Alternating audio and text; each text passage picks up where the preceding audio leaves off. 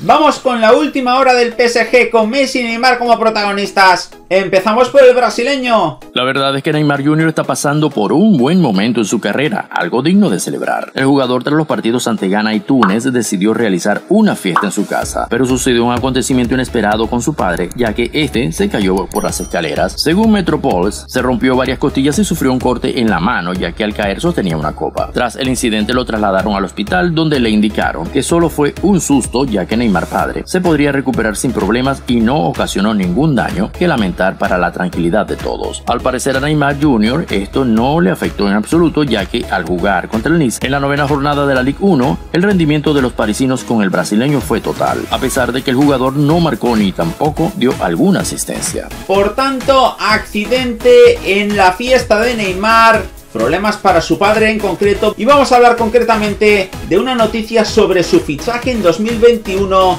por el Paris Saint Germain. El Tribunal de Justicia de la Unión Europea con sede en Luxemburgo celebrará una audiencia pública el próximo 18 de octubre en la que examinará la demanda contra el fichaje de Leo Messi por el Paris Saint Germain, presentada en agosto de 2021 por un grupo de socios del Barcelona radicados en Francia. Fuentes del equipo judicial de los demandantes confirmaron a EFE que los jueces examinarán si hubo un incumplimiento del fair play financiero con un eventual fichaje de Messi y una distorsión de la competencia entre la Liga Española y la francesa. También valorarán si hubo ayudas legales por parte del Estado francés al Paris Saint Germain en el marco de su cooperación con Qatar. De acuerdo con los letrados del grupo de socios del Barcelona, el juez relator designado por el tribunal es el veterano Mark Jigger, expresidente del Tribunal de la Unión Europea en 2007-2019. Los socios del FC Barcelona se felicitan de la decisión del tribunal de organizar una audiencia pública y esperan una decisión firme que defienda los intereses de los aficionados y ponga fin a la instrumentalización sistemática del fútbol profesional,